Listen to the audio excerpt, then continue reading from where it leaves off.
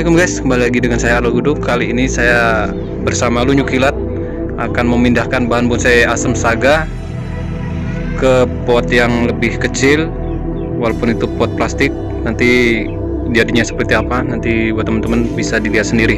Dan kali ini saya tidak berburu bahan bonsai, saya fokus sekarang tentang review-review dan mengganti media dan pemindahan media ke apa namanya bahan bonsai ke pot guys ya. Oke langsung ke videonya check it out. Oke teman-teman jangan lupa ya uh, subscribe YouTube channel Arla Gluduk YouTube channelnya uh, anak Lampung ya. Jangan lupa juga uh, like, comment, dan share keren lagi. Oke teman-teman, see you. Jangan lupa juga subscribe Heru Gundul. Jadi bahan bonsai asam saga ini yang bakal kita pindahkan ke pot seperti ini. Ini pot plastik dan sementara nanti bakal saya carikan pot yang lebih yes ya atau keramik karena di sini untuk keramik tidak ada yang jual harus online. Kita pakai ini dulu guys ya. Oke, lanjut cengit. Oke, langsung saja kita tanya-tanyakan sama Bang Aragludo guys. Gimana Bang? Ya kali ini kita bakal apa memindahkan bahan bonsai asam saga ini Mm-mm. ke media pot ya guys ya dan ini usia sekitar satu tahun dari dongkelan dari alam guys ya emang saya cari ukuran kecil ini aslinya sebenarnya akar dulunya Mm-mm. saya bawa pulang ternyata bisa hidup dan sekarang sudah subur untuk perantingannya dia masih kurang banyak ini masih proses pengawatan pertama guys ya Mm-mm. Oke, kita tidak perlu berlama-lama lagi, guys. Kita langsung saja ke pemindahan asam saga ini ke pot yang lebih kecil lagi, guys. Oke, lanjut. Oke, langsung saja kita bongkar ya untuk polybagnya. Ini waktu dulu eh, sempat di ground nggak Bang? Ini di ground langsung ditanam di sini, guys. Langsung ditanam ya. Belum pernah saya apa namanya pindah-pindah lagi baru kali ini. Oke. Ini walaupun kecil akarnya juga cukup banyak Bang ya. Mungkin mungkin juga ini saya kurang tahu, guys ya. Oke, coba kita bongkar guys. Karena tidak pernah saya ini belum pernah saya pupuk kandang juga. Cuman siram-siram aja, guys. Atau mungkin lebih unik nanti bawahnya Oke, ternyata di bawahnya ini masih ada nih akarnya. Ternyata dalam juga Bang ya kalau untuk penanamannya ya. kita menyesuaikan karena dulu saya belum pernah mencoba akar guys takutnya mati dan ternyata hidup Ini menggunakan pupuk juga nggak Bang? belum pernah guys Belum pernah ya. Tapi cukup untuk pertumbuhannya cukup subur sangat sekali ini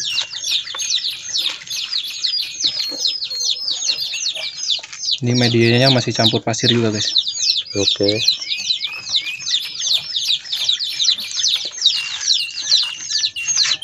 Ini asam saga ini sangat bagus sekali bang ya kalau untuk pemula ya bang. ya untuk perantingannya dia lebih bagus daripada asam lebih cepat maksudnya bukan lebih bagus ya, ya. Iya. kalau lebih bagus berarti udah memang sudah bahan yang paling bagus. Mm, untuk perantingannya dia untuk usia sebenarnya kalau kita sering rajin pruning atau rajin apa deh setahun itu udah jadi untuk bahan bonsai asam ini guys. Beda dengan asam dia butuh waktu sangat lama guys. Bukan setahun dua tahun. Oke. Jadi ini sangat berbeda sekali dengan asam Jawa ya bang ya. betul sekali guys. Karena ini batangnya cenderung menjalar di alam dan ada durinya juga. Oke. Dan untuk bentuknya ini dari alamnya eh, lurus ya bang ya. dulunya lurus saja guys. Mm, mm. cuman ini proses pengawatan sekitar dua bulan tapi tidak kita bikin konten. Mm, ini sebenarnya bagusnya langsung ada batu karang guys ya. Tapi karena kita kendala batu karang cukup jauh mencarinya jadi kita sementara seperti ini dulu Oke, ternyata akarnya cukup banyak bang ya. kita kurangin juga guys Oke. nanti tumbuh serabut baru dia lebih bagus ya Ini potnya sementara ini bang ya. sementara karena kita nyari untuk keramik di Lampung Barat ini cukup susah guys untuk mencari pot keramik kalau pot-pot biasa semen cukup banyak tapi untuk cari karakter yang harus pas kita susah guys Mm. paksa kita online juga ini sebenarnya cuma simpel guys ya gini aja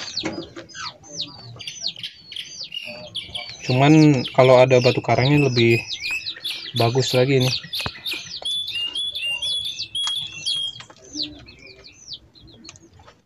Jadi ini medianya tetap yang tadi bang ya? Masih tadi nanti kita apa namanya suntik aja di atasnya kasih pupuk kandang lagi guys. Oke oke. Ini untuk sementara aja gini. Ini kawatnya tidak perlu diubah lagi bang ya? Tidak guys, ini ya se- seperti ini gayanya. Oke. Cenderung ke terjun ya. Mm-mm. Jadi ini gaya terjun bang ya? Sebenarnya ini dilepas kawat sudah bisa, tapi kita biar lebih kokoh lagi batangnya biar nanti ada kesantuannya dari bekas lukanya itu sendiri. Mm-mm. Nanti bisa lebih tua, lebih bagus lah melihatnya guys, Hmm. berkarakter. Oke langsung proses penyiraman.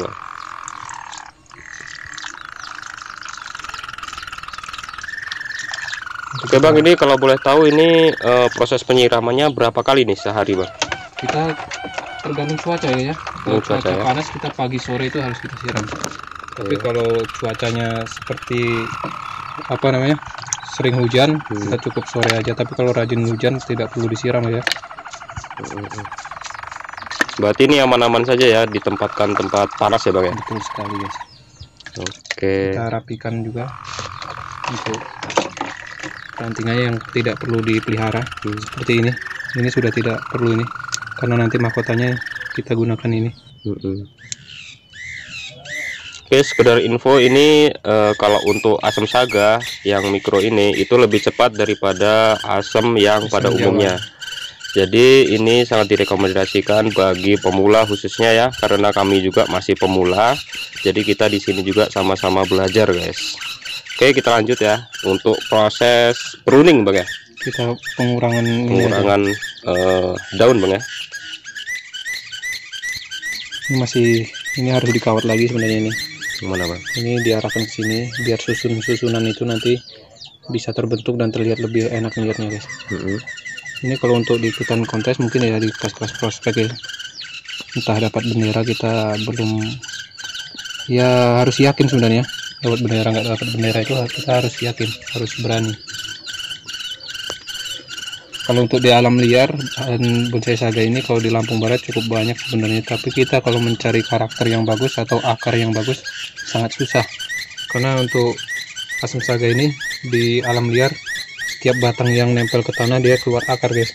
Mm-mm. jadi kita mencari akar yang akar keliling itu susah. Beda dengan sisiran. Kalau sisiran masih banyak yang akar-akar keliling tapi kadang kalah dari segi batang atau pengecilannya yang kalah yang tidak bagus guys.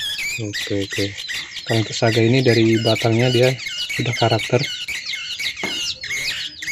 Dan untuk kulit saga ini eh, kesantuannya itu cepat sekali bang ya terlihatnya. satu tahun dia kalau ukurannya yang sudah besar dia Mhm. cepat banget guys untuk menghilangkan warna hijau di batang ini Hmm. kalau yang batang sudah besar dia cepat tapi kalau kita ukuran kecil ini kita menghilangkan warna hijau yang di batang ini untuk Mhm. menjadikan kesan tua cukup lumayan lama guys Oke oke. Jadi ada trik dan caranya bang ya, tidak tidak salah-salah. asal tanam atau gimana yang kita lama susah itu bikin karakter kesan tuanya dan perantingan rapet seperti bonsai asem ya Hmm. kalau untuk bonsai asem saga ini dia satu tahun kalau perantingannya subur dia sudah jadi guys diikutkan kontes sudah pantas Oke. Jadi ini perlu di pruning lagi atau tidak bang? ini sebenarnya sudah saya pruning Hmm. cuman ini biar dulu masih banyak daun yang muda nanti mungkin pengawatan lagi kita penambahan pengawatan lagi nanti bakal kita video lagi ya Hmm. Ini untuk sementara seperti ini Oke di kolom komentar juga kemarin ada yang nanya nih bang eh, tentang bahan bonsai ini itu ada buahnya atau tidak bang? ada guys Ada ya? Buat buahnya dia seperti kalau teman-teman tahu makanan atau sayuran yang kapri ya Hmm. kapri itu kan buahnya agak gepeng ya Oke. kalau apa namanya lamtoro ya lamtoro itu apa Pet- petai Cina ya Iya, petai Cina petai itu panjang ya sekitar satu jengkal lebih tapi Mm. kalau ini cuma ukurannya se segini guys ya sekitar 4 cm 5 cm lah ya Ukuran eh, buahnya. Ukuran panjangnya, Panjangnya dan ya. kalau gepengnya itu sama seperti itu tadi petai Cina Dari Cina. Oke, jadi buat teman-teman itu dia eh, buahnya karena di sini juga belum berbuah ya, jadi eh, dicontohkan dengan kata-kata saja. Semoga teman-teman paham. kalau untuk bisa dimakan kita belum tahu ya karena sempat berbuah juga asam saga yang saya yang satunya Hmm. tidak tidak ada hama yang makan di situ atau ulat yang makan jadi saya takutnya kalau kita coba-coba nanti malah beracun gitu Oke. karena untuk daunnya kalau asam biasa sering kadang dimakanin ulat ya Iya benar. Tapi ini dia rontok sendiri tidak pernah saya melihat atau pucuk pemudanya dimakan ulat atau apa Jadi lebih aman ya. Eh, kita takutnya kalau coba-coba nanti malah beracun ya Oke. kalau teman-teman udah ada yang pernah nyoba atau tahu atau pernah melihat bonsai asam saga di alam atau gimana pernah mencoba buahnya ada apa nah efeknya atau tidak boleh komentar di kolom komentar guys Oke. oke mungkin sekian ya video dari kita Mm-mm. dari saya Arlo Buduk dan Dunyu Kilat semoga bermanfaat dan menginspirasi buat teman-teman dan semakin semangat untuk membuat bonsai di Indonesia. Salam berkaya salam. Cekidot Ngel.